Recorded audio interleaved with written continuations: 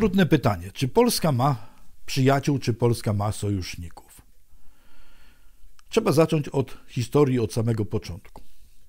W 1138 roku Bolesław Krzywousty podzielił państwo na swoich synów. Pięciu synów, y, każdy dostał jakąś tam część. Nie było to nic nowego, w tym czasie taki zwyczaj istniał. Problem polegał na tym, czy państwo w tym czasie występowało jako całość, czy jako poszczególne dzielnice. W naszych podręcznikach historii wmawia się y, młodzieży, że to było tak zwane rozbicie dzielnicowe i Polska cały czas była jako państwo. A to jest nieprawda. W tym czasie Polska była lennem świętego Cesarstwa Rzymskiego narodu niemieckiego. I na każde zawołanie cesarza niemieckiego polski książę musiał, musiał wystawiać y, hufiec pancerny, który szedł walczyć za Niemców, do Włoch najczęściej, albo gdzie indziej. Dopiero Władysław Łokietek w 1320 roku y, no niejako przywrócił samodzielność Polsce. Czyli praktycznie ten pierwszy zabór Polski to był 700 lat wcześniej niż nam się podaje rozbicie w 1795 roku, czyli rozbiory. Następny zabór Polski, znowuż przez Święte Cesarstwo Rzymskie Narodu Niemieckiego, miał miejsce w 1596 roku, kiedy na tron Polski przyszedł niejaki Waza, Zygmunt zresztą. Otóż król Szwecji, Zygmunt Waza, był lennikiem Cesarstwa Rzymskiego Narodu Niemieckiego. Czyli nie Habsburgowie sami bezpośrednio zajęli tron Polski, tylko stworzyli pozory istnienia samodzielnego państwa, y, stawiając na naczelnika tego państwa swojego lokaja. Y, Wazowie doprowadzili do zniszczenia Polski, wplątując ją w wojny tureckie. Bardzo łatwo to sprawdzić, y, oglądając mapę tamtych terenów. Polska największym swoim rozkwicie miała około miliona kilometrów kwadratowych i była zamieszkiwana przez 8-10 milionów ludzi. Natomiast Turcja miała 2,5 miliona kilometrów kwadratowych i miała ponad 30 milionów ludzi. Turcja wcale nie chciała walczyć z Polską, tylko szła na Austrię i Włochy, bo Włochy były dla niej tym terenem, który no, niejako predysponował do ataków. Y, na przykład w 1571 roku, w czasie bitwy pod Lepanto, Polska sprzedała Turcji 60 y, tysięcy szabel. No to był ładny, ładny przemysł i y, nieźle na tym zarobiliśmy. Proszę pamiętać, że Polska miała dwa porty na Morzu Czarnym, przez który cały czas y, sprzedawała żywność do basenu Morza Śródziemnego, a także do Anglii. Głównymi drogami transportu były rzeki, a jedna Wisła szła do Morza Bałtyckiego, natomiast aż dwie rzeki z Podola i yy, Dzikich Pól szły do Morza Czarnego. Bałtyk zamarzał, a Morze Czarne nie zamarzało, czyli handel mógł kwitnąć cały rok. Yy, następnie, zaraz po yy, Wazach, otrzymaliśmy Sasów. Znowuż lenników cesarstwa, świętego Cesarstwa Rzymskiego, narodu niemieckiego i Stasi nas wyeksploatowali maksymalnie, co doprowadziło właśnie do rozbiorów Polski, czyli znowuż przez 128 lat straciliśmy niepodległość. Y, w tej sytuacji Polska nigdy nie prowadziła samodzielnej polityki. Był krótki okres Stefana Batorego, gdzie tą politykę prowadziliśmy i ona już w ten czas była przeciwko Y, City of London Corporation. Dlatego, że kampania moskiewska, o której się w Polsce także nic nie mówi, to była firma handlowa, która rządziła w tym czasie y, carstwem moskiewskim. Ta firma wyobrażała sobie, że jak zajmie dzikie pola i tereny wschodnie Polski, to zwiększy swój handel i obniży ceny towarów większość zboża, miodu, wosku pochodziła z naszych terenów, to znaczy z Litwy, Łotwy, Kresów. Jedyne źródło, czy główne źródło dostaw to były właśnie tereny nasze. Czyli Anglia była wyjątkowo zainteresowana utrzymaniem korzystnych stosunków handlowych. Pierwszy najazd Anglików na Polaków to był już w 1267 roku. Potem w 1293, drugim, trzecim była wielka e, krucjata króla Anglii na Wilno, obronione tylko dzięki istnieniu tam polskich posiłków. E, czyli przez cały okres naszej historii zawsze mieliśmy problem z City of London Corporation i Świętym Cesarstwem Rzymskim Narodu Niemieckiego. W tej sytuacji trudno znaleźć jakiekolwiek państwo, którym moglibyśmy zawrzeć korzystny sojusz. Były okresowe, dobre stosunki z Węgrami, ale ten czas rządzili nimi Antygawenowie. Jak Habsburgowie przejęli Węgry, to te układy uległy całkowitemu zatarciu. Dzisiaj jest jeszcze gorzej, dlatego że państwo rosyjskie praktycznie nie istnieje. Y, po obaleniu caratu w 1917 roku przez właśnie oddziały przygotowane przez City Corporation of London, y, realizowane przez Warburga, który y, cesarstwa pruskiego oddelegował Lenina i 5 tysięcy bandytów, a jego brat z Ameryki, Trockiego Bronsteina z 10 tysiącami, Y, opanowali całkowicie Rosję i tak było przez cały okres do dnia dzisiejszego. W izbach handlowych City of London Corporation znajduje się dokument, że obecne państwo moskiewskie to jest korporacja pięciu czy sześciu oddzielnych firm, których dyrektorem zarządzającym jest niejaki Miedwiediew, wcale nie Putin. Czyli praktycznie sytuacja wygląda tak. Jest jakieś państwo typu Polska, które jest traktowane jako kolonia, nie ma prawa żadnych własnych yy, praw ustanawiać, musi zakupywać to, co mu się każe, na przykład słynne F-16, które nie nam są potrzebne, tylko w tej chwili na e, wzgórzach Golan gdzieś tam się znajdują. Yy, nie mamy, zniszczono w ciągu ostatnich 25 lat całkowicie przemysł zbrojeniowy zlikwidowano y, naukę posługiwania się bronią. Y, nie znam żadnej szkoły, gdzie prowadzono by lekcje strzelectwa. A to jest sport rozpowszechniony na całym świecie. A w Polsce jest zakazany. Y, państwa takie jak Czechy czy, czy Słowacja praktycznie, czy Litwa i Łotwa się nie, nie istnieją. To, to jest fikcja literacka obecna teoria państwa jest zupełnie inna niż była kiedyś. Dawniej to mówiono, że to jest obszar zamieszkały przez ludność mówiący tą samym językiem, mającym tradycję i wspólną y, kulturę wytwarzający. Proszę zauważyć, że y, historię zlikwidowano już w 1974 roku jako zapłatę za rzekome pożyczki.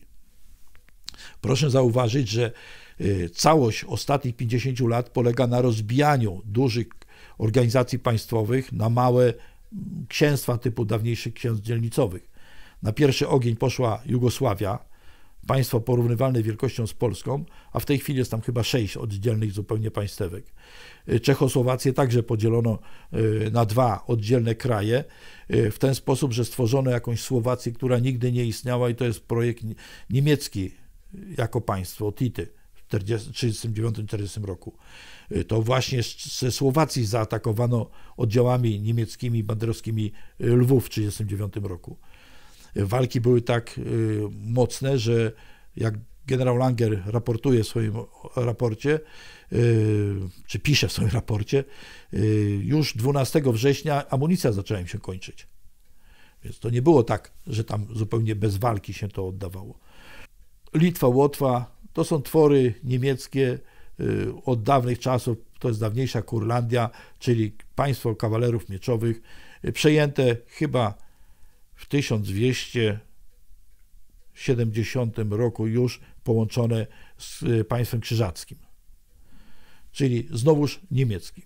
Tutaj y, jako ciekawostkę podam, opierając się na historii Prus, otóż jest w Polsce wydana historia Prus. I okazuje się, że pierwszym świętym polskim wcale nie jest święty Wojciech, czyli, a tylko święty Świdberg, który został uznany za świętego w 717 roku. Czyli 200 lat przedtem, nim w ogóle, 300 lat praktycznie przedtem, nim święty Wojciech w ogóle do Polski przybył. A o tym się w Polsce nie mówi. Tu jestem strasznie zdziwiony, że Kościół katolicki takiego świętego nie celebruje, bo przecież było nie było, zginął za wiarę. W tej sytuacji wokół nas nie ma żadnego państwa, które po pierwsze byłoby nastawione przyjaźnie do nas, po drugie posiadało jakąkolwiek realną siłę. Czyli innymi słowy, wszystkie przesunięcia, które w najbliższym czasie nastąpią, będą bez praktycznie żadnego oporu ze strony kogokolwiek. Nie posiadamy żadnej broni, nie posiadamy żadnej armii, bo te 30 czy 40 tysięcy chłopców, które ewentualnie mogą biegać po polach, no to jest y, rodzaj, rodzaj mm, legii cudzoziemskiej, która jest wyposażana, wypożyczana do walk gdzieś tam w Afganistanie, w Iraku i tak dalej. Czyli sytuacja jest taka.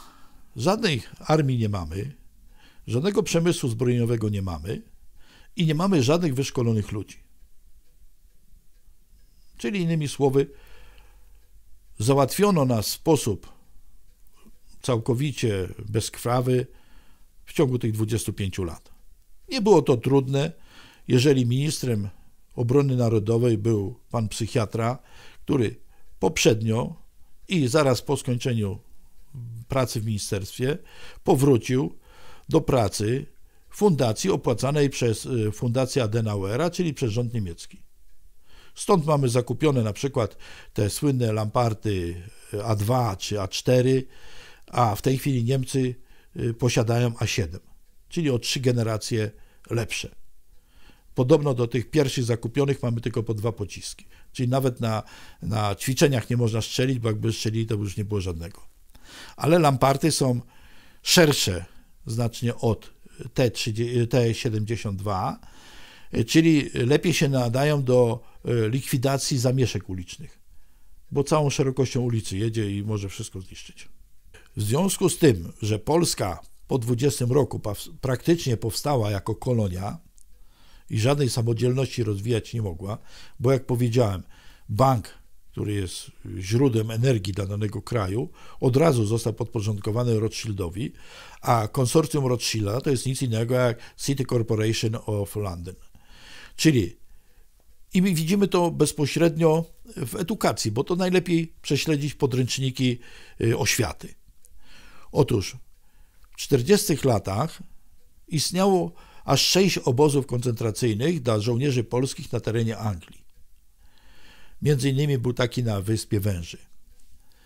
Y, jak Państwo wiecie, do 90 roku teoretycznie rządziły nami Sowiety. No to co było bardziej jaskrawego, pokazać jacy źli są ci kapitaliści i nagłośnić sprawę tych obozów. Nic takiego nie zostało e, dopuszczone do publikacji. Po 90 roku mamy z kolei wolność, czyli wolno pisać. I znowuż nie ma takiego historyka, nie ma takiego pracownika IPN-u, którzy do tego zostali powołani i są opłacani przez podatnika, żeby ruszyli sprawę tych obozów.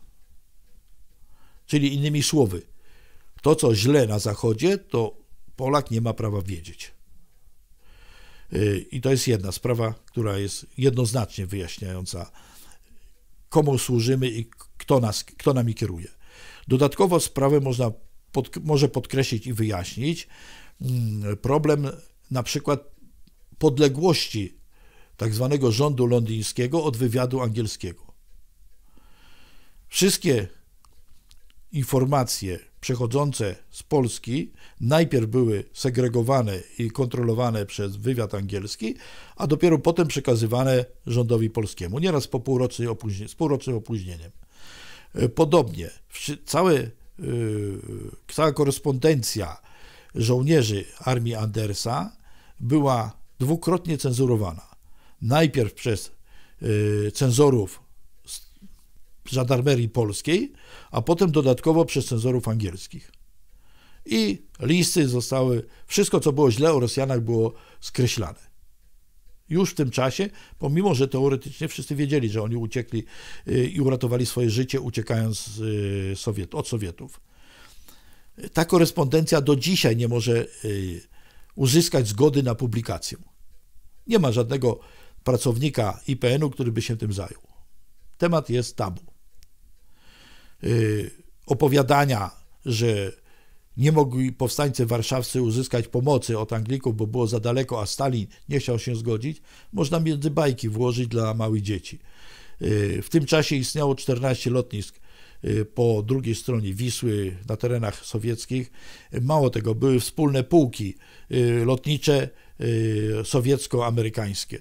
I o tym są filmy rosyjskie, w Rosji nakręcone filmy, które pokazują braterstwo żołnierzy rosyjskich i amerykańskich wspólnie walczących z Niemcami, a rzekomo nie można było tego zrobić y, pomocą dla powstania. Y, mało tego. Wszystkie zrzuty, które były dla powstania, były tak jakoś dziwnie parcelowane i tak robione, że ilość broni, która dostarczana była rzeczywiście była minimalna rzucano jakieś czapki, rzucano jakieś ulotki, rzucano jakieś inne rzeczy. Czyli generalnie można, patrząc teraz wstecz, można powiedzieć, że chodziło bardziej o wymordowanie części e, najbardziej aktywnej ludności, a nie o jakiekolwiek działania wojenne. To samo zresztą powtórzono e, w 70, 69, 70 roku w czasie tak zwanej ofensywy TED, kiedy na terenach całkowicie opanowanych przez Amerykanów nagle powstańcy wietnamscy wywołali walki. Doprowadziło to do zmasakrowania tych powstańców i wymordowania około 50 tysięcy ludzi, yy, po to, że, a już było w tym czasie wiadomo, że te tereny dostają Chińczycy, czyli dostaje Wietnam Północny.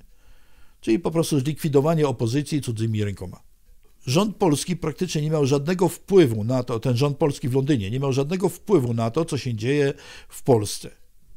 To, co tam przedstawiają niektórzy historycy, to jest y, no, konfabulacje intelektualnych troli.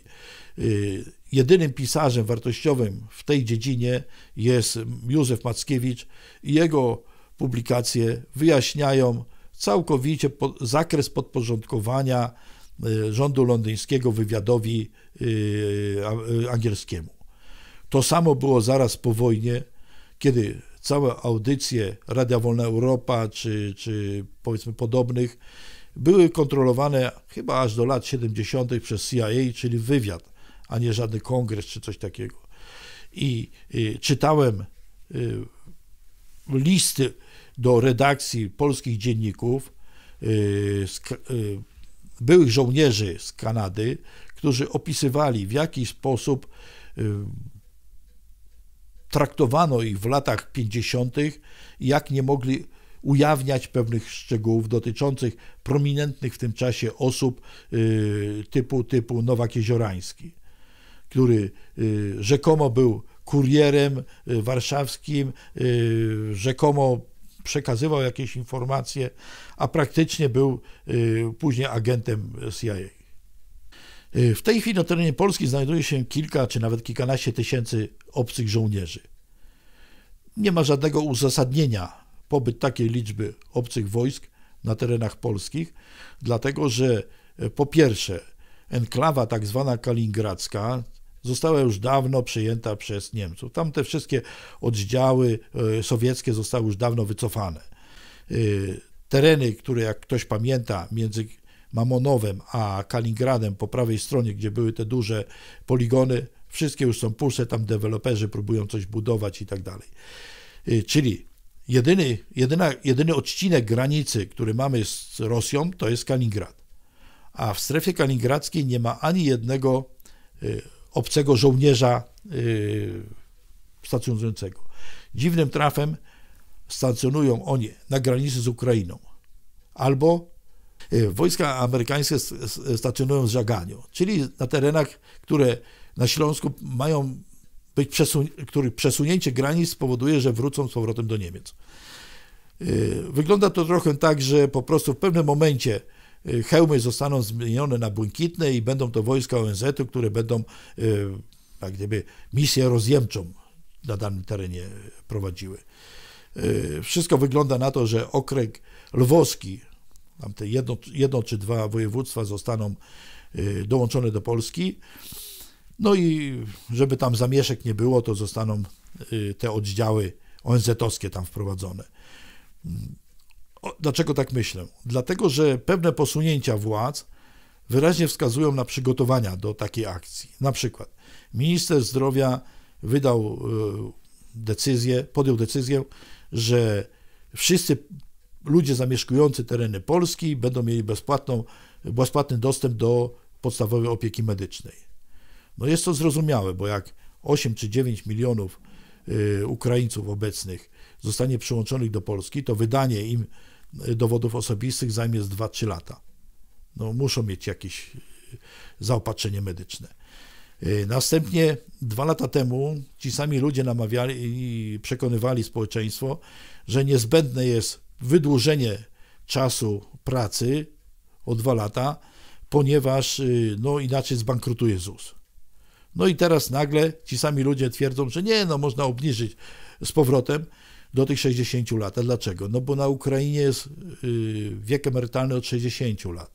I w związku z tym, jak otrzymamy taką porcję emerytów, no to nie może być w jednym kraju dwóch grup y, różnym wieku emerytalnym. I dlatego przez najbliższe 2-3 lata zrówna się ten wiek, a potem się z powrotem go podniesie. Dziwnym trafem do, do ubiegłego roku paszporty otrzymywało tylko około 100 tysięcy mieszkańców Ukrainy y, i mogli przyjeżdżać do Polski do pracy a teraz w ciągu 10 miesięcy przy, uzyskało paszporty ponad 1,5 miliona ludzi. No to wychodzi 150 tysięcy miesięcznie. Odliczając soboty i niedzielę, to wychodzi po około 7, 8, nawet do 10 tysięcy dziennie. Proszę zauważyć, że tych punktów wydawania paszportów na Ukrainie jest stosunkowo mało, bo bodajże 3 tylko. To jak się ci ludzie muszą napracować, żeby 7 czy 8 tysięcy paszportów wydać i wiz. Yy, od układów Schengen my podlegamy Brukseli, czyli żaden rząd w Polsce nic nie może zrobić w sensie emigrantów yy, bez uzyskania zgody Brukseli. Czyli to jest decyzja Brukseli, a nie Polska, wpuszczenia olbrzymiej ilości obcokrajowców do naszego terenu, na nasz teren budownictwo w tej chwili zostało prawie całkowicie przejęte przez e, robotników z Ukrainy. Cała, cały przemysł, co można nazwać, opieki nad ludźmi starszymi jest prowadzony przez e, kobiety z Ukrainy. To jest też co najmniej te 300-400 tysięcy kobiet dodatkowo, czyli tak naprawdę już jest około 2 tysięcy, 2 milionów pracowników z Ukrainy legalnie lub półlegalnie pracujących w Polsce. Unia się na pewno rozleci tylko pytanie jest, kiedy i co? Proszę wziąć pod uwagę, że Unia tak naprawdę to są Niemcy. A jak Niemcy obejmą te tereny, które mają objąć, czyli nas i tak dalej, no to będzie państwo właściwie rządzące Unią. Tylko proszę nie brać Niemców poważnie. Pani Merkel jest tylko oficerem wykonawczym. Od 1949 roku nie ma Niemców. To jest jedyny kraj, Niemcy i Japonia, które są nadal pod okupacją z 1945 roku. Wojska okupacyjne są tam stale i mało tego, zakres działania wojsk okupacyjnych w Niemczech zwiększa się z każdym rokiem. Na przykład w 2008 roku w Monachium powstało tak zwana, tak zwana jednostka Afrika.com, czy Corp, czyli y, jakby to nazwać, sztab Y, Pentagonu do działań w Afryce. To jest związane z strefami czasowymi. Jeżeli decyzje były podejmowane w Waszyngtonie, a działania były na przykład na y, Morzu Czerwonym czy tam y, Zatoce Perskiej, to czas był tam 10 godzin i bardzo trudno było czasami jakiegoś generała znaleźć w tym miejscu, gdzie on powinien być. A decyzja opóźniona praktycznie uniemożliwiała akcję. W związku z tym przeniesiono centralę do Monachium i w tej chwili od 2010 roku y, bezpośrednie rozkazy wychodzą z Monachium w imieniu Pentagonu. Y, z tym, że a, jeszcze tak, liczba wykonanych operacji. W 2010 było to około 100 operacji wojskowych na terenie Afryki, a w 2015 już było 675 operacji wojskowych na terenie Afryki. Między innymi sprawa Ebola to jest sprawa Africa.com, czyli y, tej, tej jednostki Pentagonu odpowiedzialnej za Afrykę. To jest nic innego jak kolonizacja Afryki, bo proszę zauważyć na filmach mm, Discovery czy tam podobnych, y, Afryka to jest y, kraj pastuchów i, i powiedzmy no, ludności takiej bardzo, bardzo jeszcze prymitywnej w naszym wydaniu, a używa się do zwalczania y, tych ludzi, samolotów, helikopterów Apache czy, czy jakichś innych podobnych, którzy napalmem niszczą wioskę, no i po trzech czy czterech miesiącach tam już praktycznie nikogo nie ma i można robić co się chce. Y, Arabia Saudyjska y, jest krajem, który powstał na, na bazie ropy. Po tych 50 czy 60 latach eksploatacji ta ropa się kończy. Arabia Saudyjska ma olbrzymi potencjał papierków zwanych dolarami żeby nie wypuściła tego na rynek, to otrzymała zgodę y, City of London Corporation na eksploatację Etiopii. Etiopia w tej chwili posiada największe złoża ropy, ale znajdują się one około 1,5 tysiąca kilometrów od morza. Ropa będąca na środku pustyni nie ma żadnej wartości. Ropę trzeba sprzedać. W związku z tym Arabia Saudyjska dostała prawo eksploatacji ropy znajdującej się w Etiopii. I stąd są te walki. Wiadomo, że najlepiej rurociąg dolinami prowadzić, a nie wzgórzami. No ale ci głupi Etiopczycy właśnie na w dolinach mieszkają i tam mają te swoje pola. Więc żeby ułatwić budowę transportu, y, rurociągu, no to po prostu te wioski się pali. I stąd są tam te walki partyzanckie cały czas i niszczenie tych wiosek, tak żeby rurociąg można było bardzo szybko do portu przeprowadzić. Mm, to jest jedna sprawa. Y, to samo jest z Chinami. W Polsce ta prasa właścicieli niemieckich y, w latach okupacji zwana gadzinówkami y, cały czas straszy nas chińskim naporem, chińską, chińską wojną tam gdzieś na Morzu Południowochińskim. Jest to ewidentna fikcja literacka. Chiny jako kraj potencjału wojskowego nie istnieją. To, co nam pokazują, to są tylko takie konfabulacje mniej lub bardziej rozgarniętych y, ekspertów. Y, wielkość Chin, czy w ogóle mówienie o Chinach, zaczęło się w latach 60. Y, proszę zauważyć, że lata 60. to były okres walki bardzo twardej i krwawej z Chińczykami w Wietnamie. Czyli po jednej stronie stali Amerykanie, a po drugiej Chińczycy, Wietnam Północny i tam te wszystkie inne krajki, które walczyły z tym rzekomym kapitalizmem.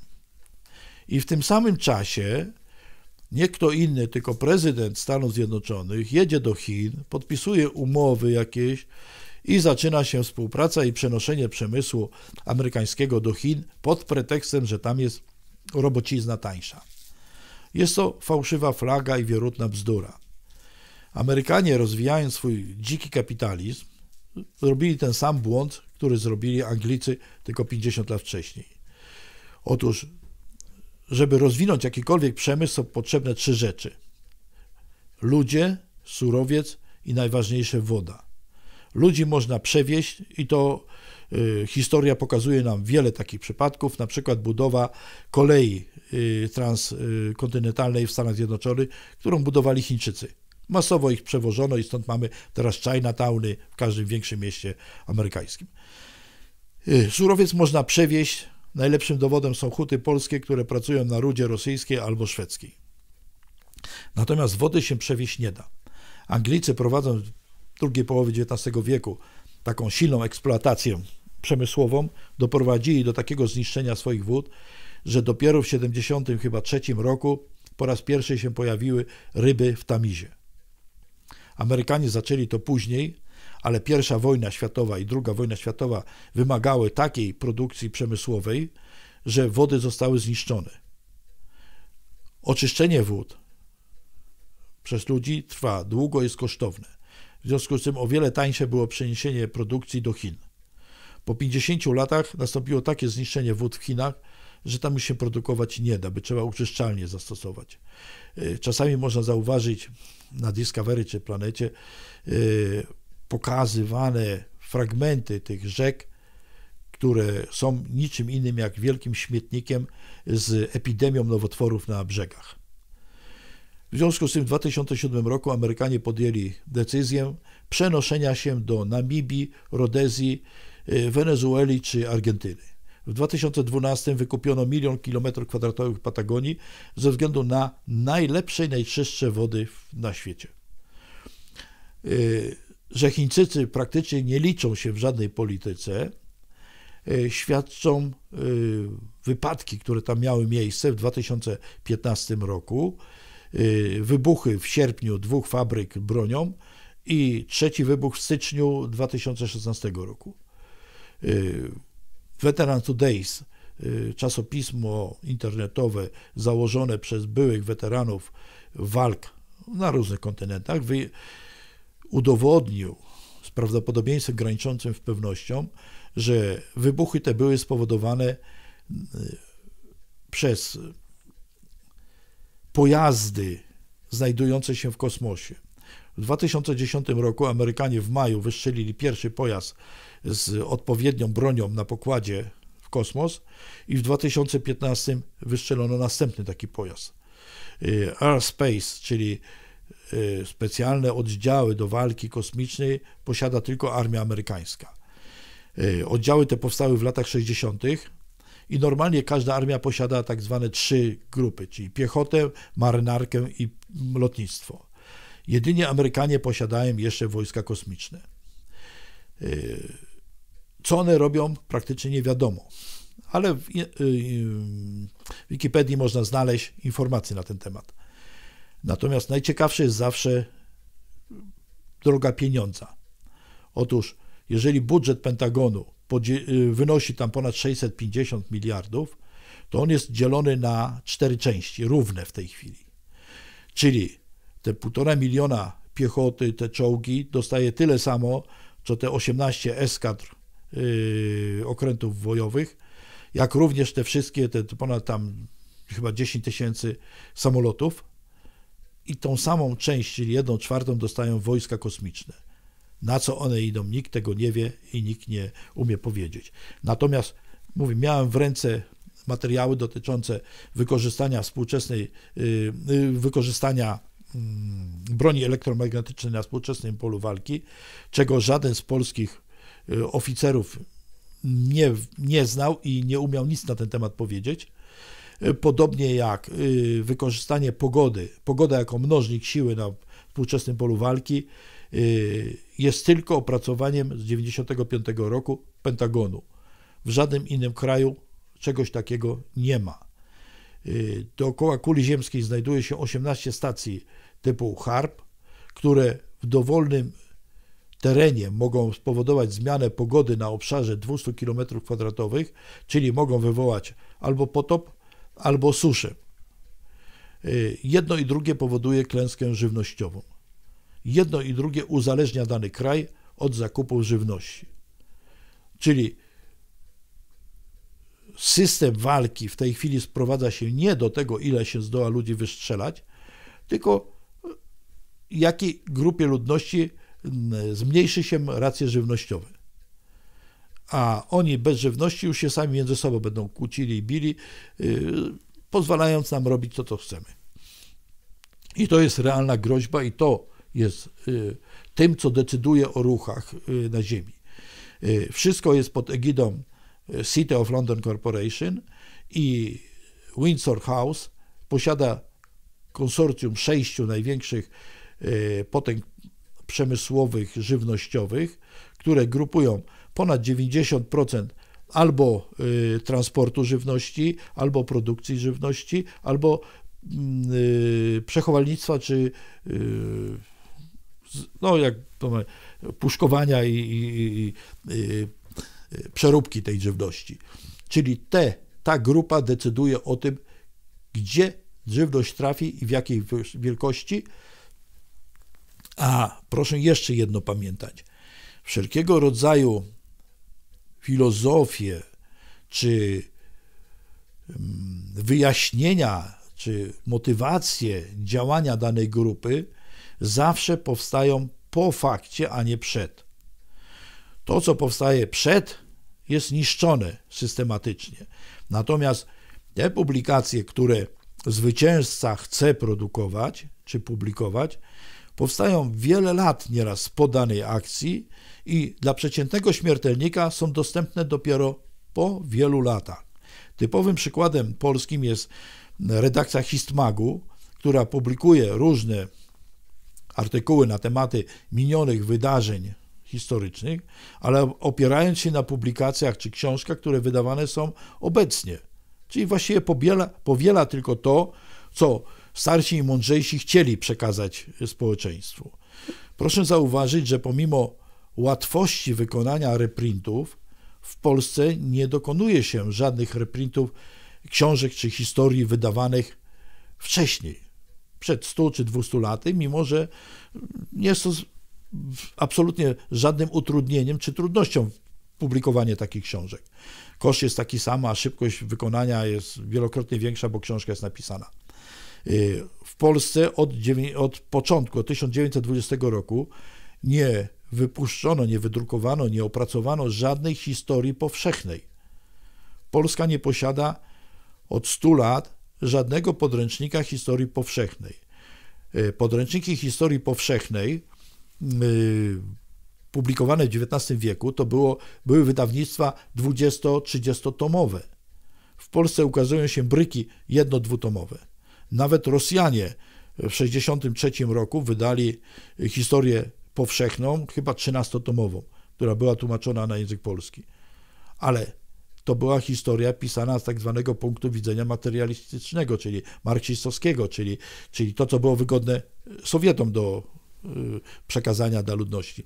Natomiast w Polsce, mimo istnienia wielu katedr czy zakładów historii, jakoś nie znaleźliśmy siły i potencjału intelektualnego, który by był w stanie przedstawić współczesną wersję historii. A jest to zasadniczo niezbędne, dlatego że to, co na przykład widzimy jako zamek w Malborku, to nie ma nic wspólnego z tym, co było za czasów krzyżackich. Y, zamki krzyżackie na Mazurach, to nie są zamki krzyżackie, tylko zamki znacznie wcześniej budowane i to łatwo rozpoznać po y, technologii, którą używano. Czyli badania historyczne, historycznego materiału za pomocą współczesnych metod spektroskopii są niedokonywane. W ten sam sposób można fałszować właściwie wszystko.